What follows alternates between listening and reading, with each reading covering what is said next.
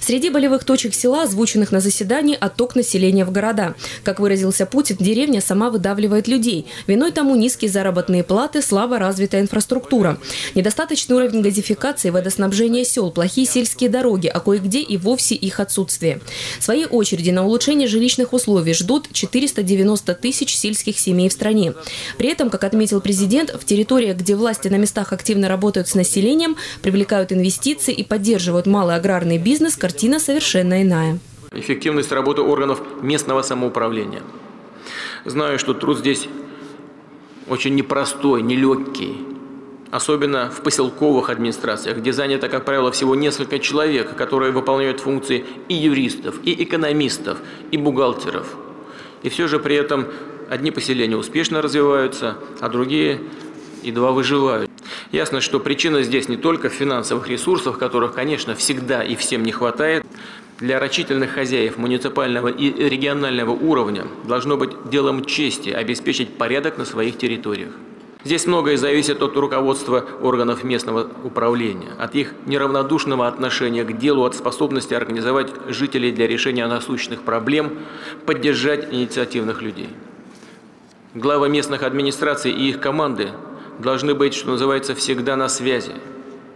Гонор, снобизм, начальственный раж еще никому не приносили пользы тем более на селе, где все друг друга знают.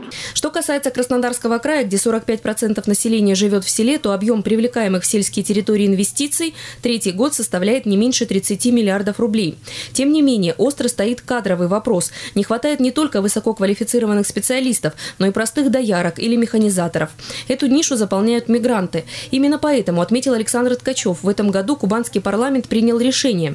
Субсидии на развитие бизнеса не получат те предприниматели, которые будут будут привлекать иностранных рабочих. Создание новых рабочих мест, повышение заработной платы и внедрение новых технологий в производство на селе на Госсовете определили в числе приоритетных задач колоссальные средства тратятся, тратятся последние годы на сельское хозяйство, естественно, на, прежде всего, быт, обустройство. Это дороги, это газификация, это энергетика, это доступность, жилье, естественно.